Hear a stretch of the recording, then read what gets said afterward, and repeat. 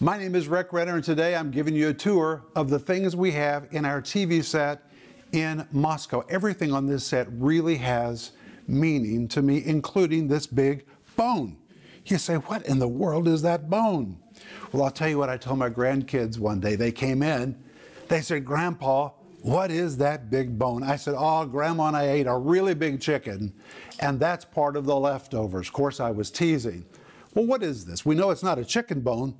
It's a mammoth bone, and it's part of the leg of a woolly mammoth. Where in the world would I get a woolly mammoth bone this size?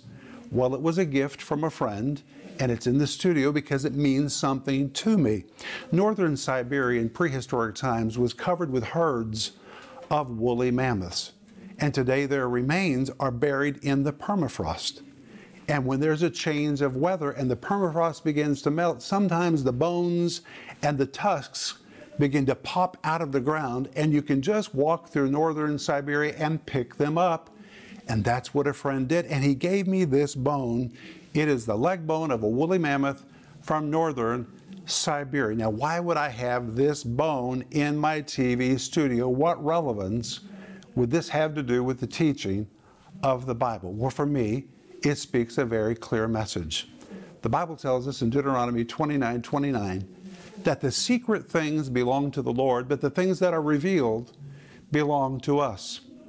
There's a lot of questions about prehistoric times, dinosaurs, where do they fit in biblical history? And we don't have all the answers. That's all right. Some things have not been totally revealed yet. When we see Jesus one day, we're going to know everything. But for now, we know what has been revealed. And if we come to subjects that we don't really know the full answer to, that's all right, because we can stick with what has been revealed. That's what we need in order to build our lives. And when I see this mammoth bone, it reminds me I don't have to know everything. I just have to know what's been revealed. And that's why this woolly mammoth bone is on my TV set. Stay tuned for a teaching you can trust a message that will inspire, strengthen, and equip you with vital insight and understanding from the Word of God. Here's Rick. Welcome to today's program. My name is Rick Renner, and this week we're going to have a blast.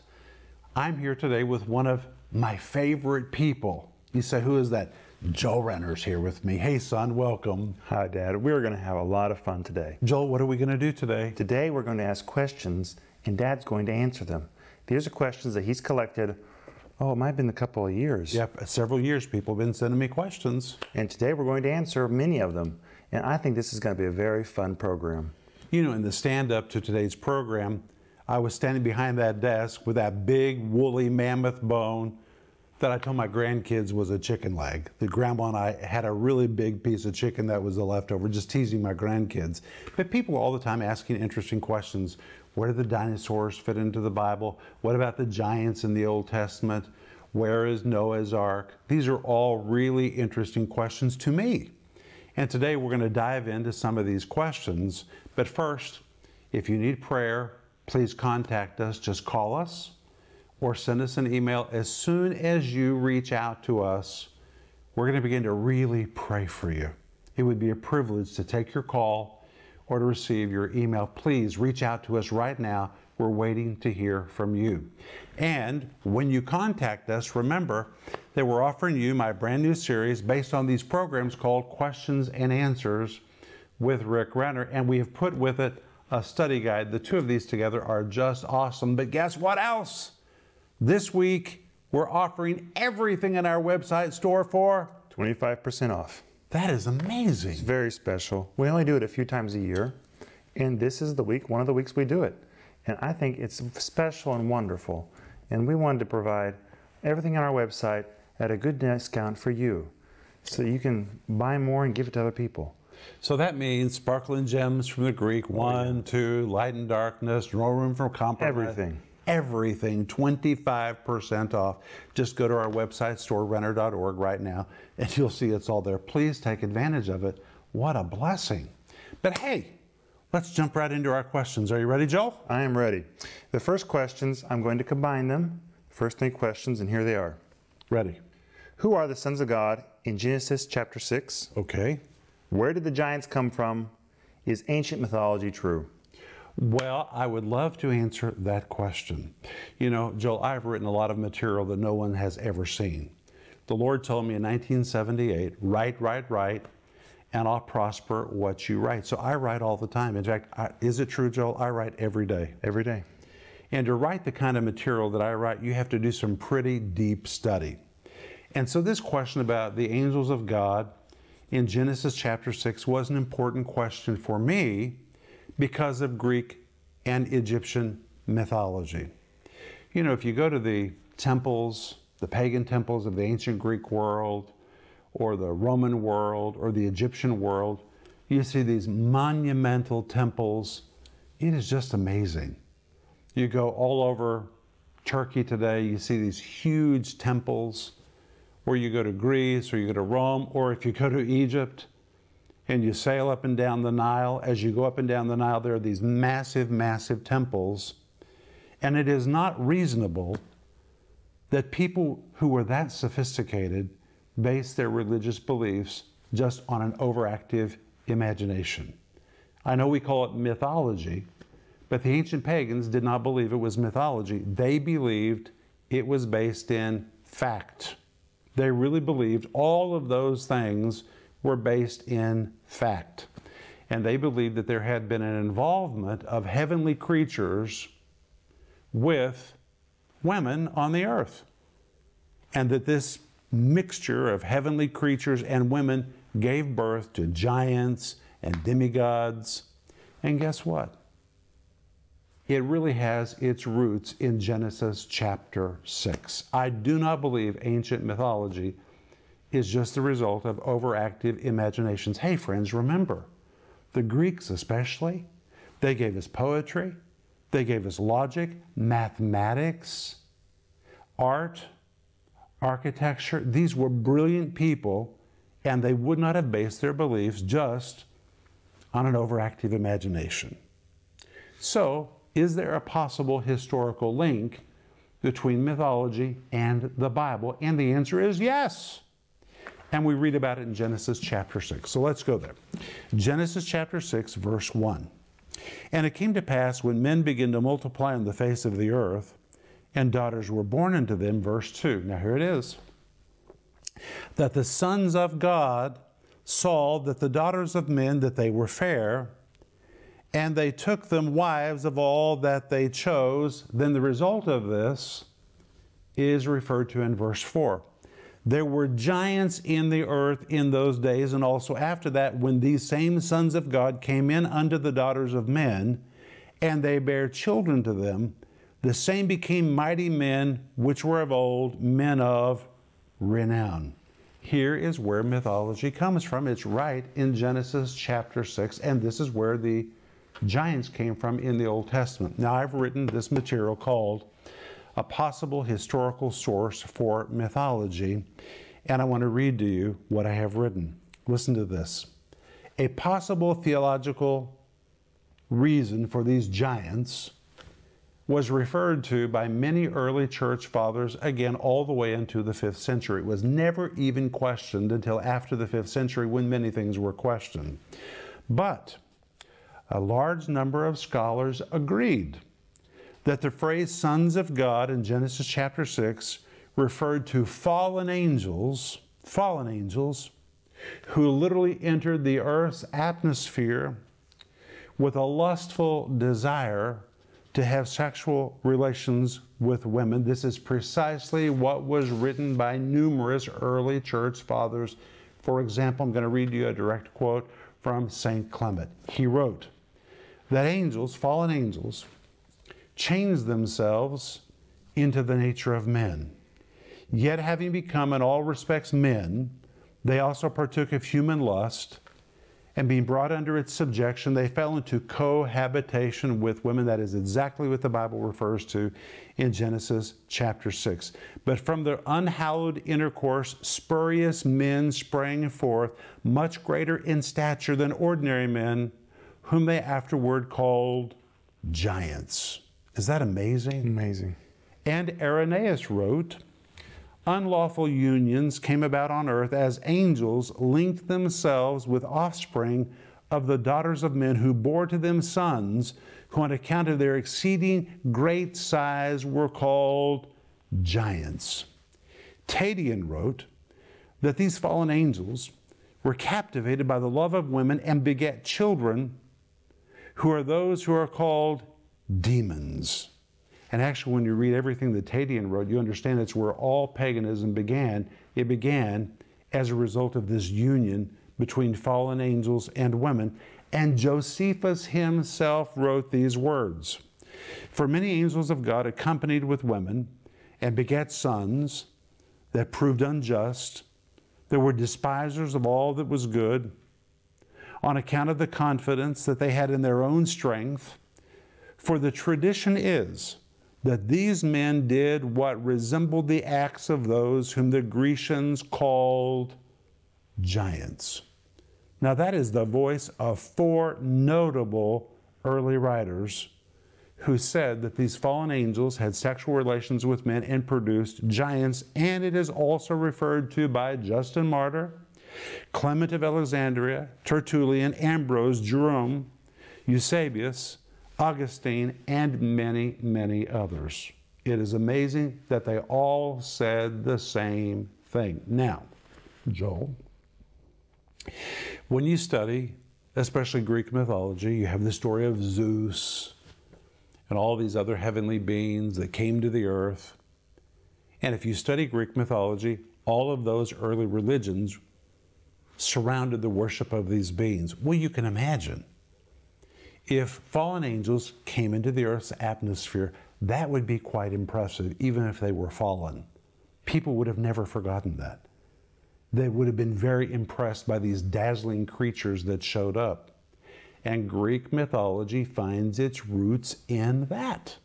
It's in Genesis chapter 6. Wow, that explains a lot. It is a real event that took place, but it was not Zeus. It wasn't his other beings that were with him. It was fallen creatures.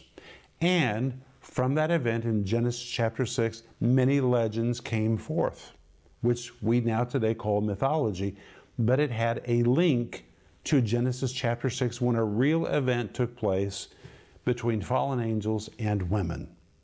Well, the Bible is so clear about it. In fact, when you go on and read in Genesis chapter 6, it says that these giants were evil, they were filled with violence, the whole earth became corrupted because of them. It is amazing what took place. And in fact, Genesis chapter 6 says that's why God sent the flood.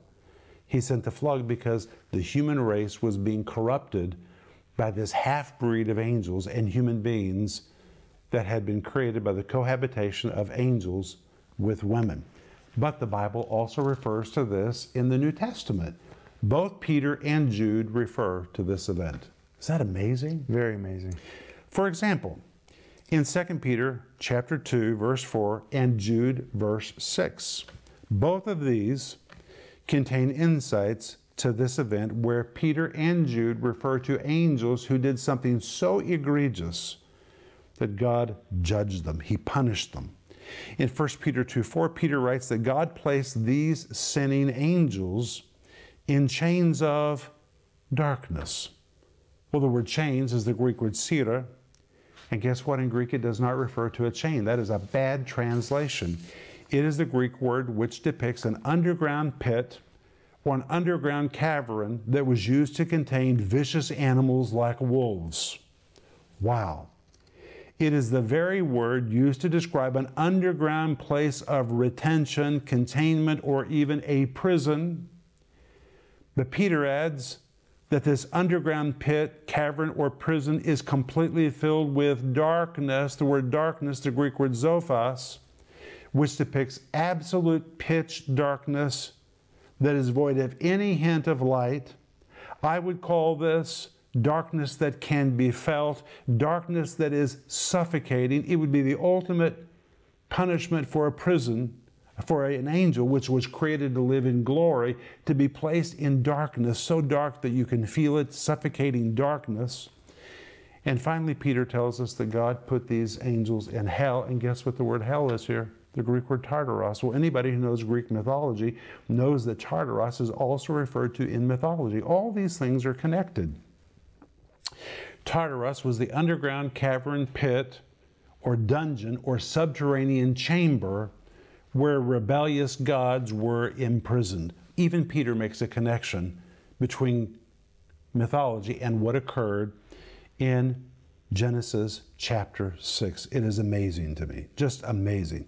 Then when you come to Jude, verse 6, of course, Jude was the brother of Jesus. He wrote that these angels that sinned had done something so egregious that God bound them in everlasting chains. Everlasting chains depicts God's irrevocable decision, his determination that these particular angels would never escape his judgment, and to assure that they would never escape this underground place of containment, God placed these angels in chains. And this word chains depicts the chains or bonds that were reserved for the most dangerous criminals. In God's mind, these were criminal angels. Is that amazing? Amazing. And by using this sequence of words, Jude depicts a moment in history, past history, when God Himself reached out and seized an offending company of criminal angels. That is amazing. And He personally bound them in chains and declared a sentence so final that there would never be negotiation for their release. It refers to these sons of God, fallen angels, that came into the world and cohabitated with women.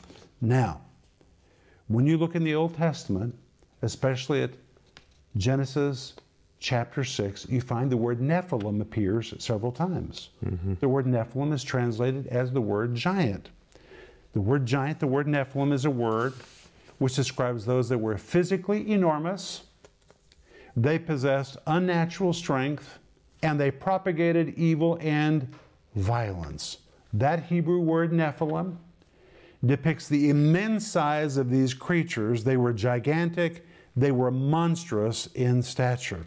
And Genesis chapter 6, 4 to 5 says there were giants, that's the word Nephilim, there were Nephilim, giants, monsters in the earth in those days.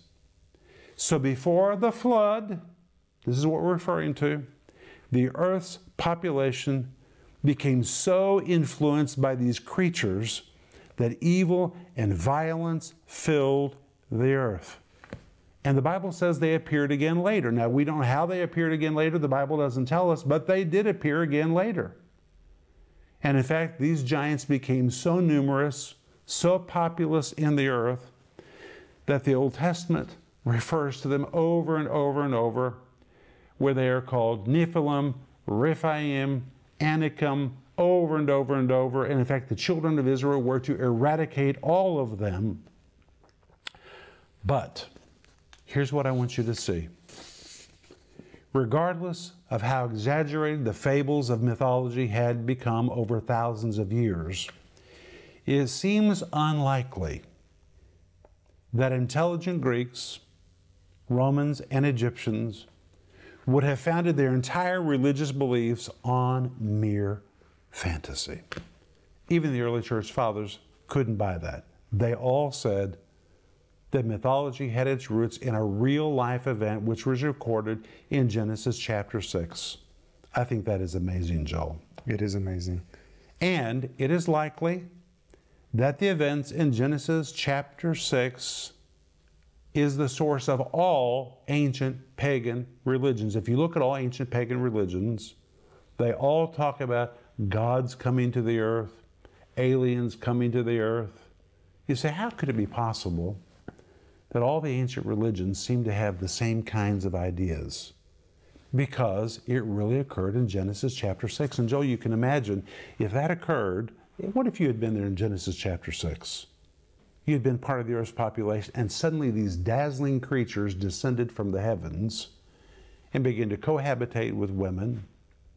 And the women then begin to give birth to half breeds, kind of an angelic human combination creatures that were enormous in size, that had amazing strength, they would become real legends. And that is where ancient mythology comes from. It comes from Genesis chapter 6. I believe this to the core of my being. There are the people who try to say that the giants were just strange people that were born of the seed of Seth. That is ridiculous. That's just ridiculous. If you read Genesis chapter 6, it's describing a supernatural event. Now, it happened again later. The Bible doesn't tell us how it happened again later, but Jude and Peter tell us that what these angels did was so egregious in the mind of God that God personally apprehended this category of criminal angels and God put them in Tartarus. Even that word is in ancient Greek mythology. God put them in Tartarus, underground, subterranean chambers like a prison filled with darkness suffocating darkness, darkness that can be felt. My friend, that would be the ultimate punishment for an angel that was created to live in the glory of God now to be in suffocating darkness, and they are there to this very moment. It was a prison sentence to never be negotiated. They are there right now. Peter tells us that, and Jude tells us that. So, Joel, I think I've answered your question. I think that's a marvelous answer. And of course, we don't believe in Greek mythology. We believe no, in the Bible. We believe the Bible. But Greek mythology, the Greeks were not stupid. Their beliefs started somewhere and really just affirms that the Bible's true. Yes, that's right. It really does. Genesis chapter 6 really took place. Wow, we have barely got started. We have a lot of questions to answer, and when we come back tomorrow, we're going to dive right into the rest of them. It's going to be a lot of fun. Don't miss tomorrow. It's going to be a great time. But I'll be back in just a moment, and I want to pray for you. We all have questions that we'd like to have answers for, but they often go unanswered. Do you have questions about the Bible that you wish someone would answer for you? In this five-part series, Questions and Answers with Rick Renner, Rick addresses many difficult and challenging questions that have been sent to him over the years. This series doesn't dodge a single issue, but dives headlong into every question asked. Rick says there are a lot of things I don't know, but to the best of my ability, I have tackled some challenging questions in this series. You'll be amazed at the discoveries you're about to make with Rick in this exciting series. If your heart yearns to find answers to some of your more difficult Bible questions, then this is the series for you. Don't delay ordering your copy today because you'll discover treasures in this series that you've been seeking for a long time. And this week, take advantage of our two week cyber sale. We're offering a 25% discount on all our resources. That's right, 25% off everything at our Renner.org store. Go to Renner.org right now and save on all your favorite teachings by Rick and Denise. Now is the time to order the products you've been waiting for. Go to Renner.org today and save big on books, CDs, study guides, and more. Don't miss out on this special offer. And order the teaching series Questions and Answers with Rick Renner today. Call the number on your screen now or go to Renner.org to order. Call or go online now. My name is Joel Renner, coming to you from Moscow, Russia, and I want to say thank you for watching today and thank you for your support. It's because of ministry partners like you that we're able to distribute quality Bible teaching around the world. And because of your support, we're not only able to air these programs by television, we're also able to translate Christian books into other languages. Because of your financial support, people in areas who have no Christian teaching of any kind, in places where getting a Bible is very difficult, we have been able to distribute millions of these Christian teachings around the world. The Bible says if you know the truth, it will set you free. And we have seen this happen over and over again. We have received thousands of testimonies of how these books we've distributed have dramatically changed people's lives. This is all because of the generous support of our partners, partners like you. Will you consider joining this vision today? Would you consider becoming a partner with us right now? When you do, your help allows us to reach more people quality Bible teaching from God's Word. With your help together, we can take the gospel of Christ both to the nearby world and to the ends of the earth. That's the vision.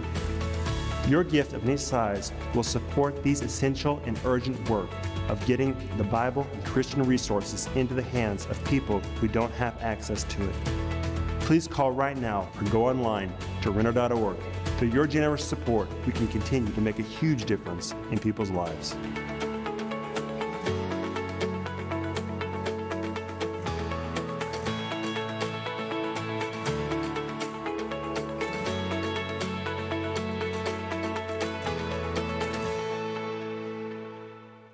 Wow, I have had such a good time today answering the question about giants, the sons of God, mythology. Joel, have you enjoyed the program? It has been a lot of fun, and I've enjoyed your answer. It was very educational.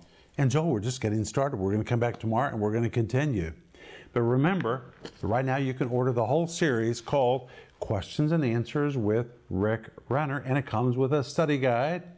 And this week, everything at our website store, Joel, 25% off. It is. It is. We made it 25% off. It's special just for you. We only do it a few times a year. And we thought with this series, it would be a wonderful thing to add.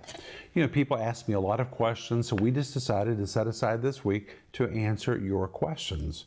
And tomorrow we're also going to spend a lot of time in the Old Testament. There's a lot of really good Old Testament questions, and thank you for sending me your questions. And if you have more, send me your questions. I want to hear from you. In fact, if you need prayer, contact us right now.